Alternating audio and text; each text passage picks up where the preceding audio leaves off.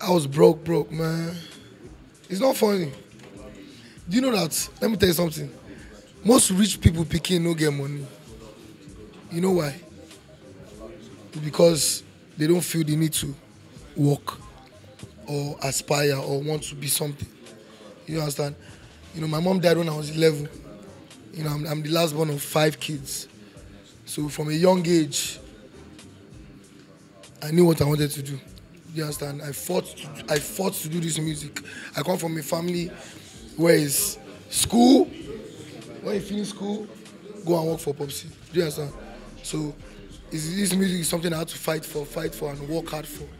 So, you know what I'm saying? To become Davido wasn't anything like say Popsy help me or anything. Of course, my dad has played a very key role in my career for sure as a mentor, as a supporter, and everything. But I feel like if you want to, no matter who you are, no matter the background you come from, you have to work.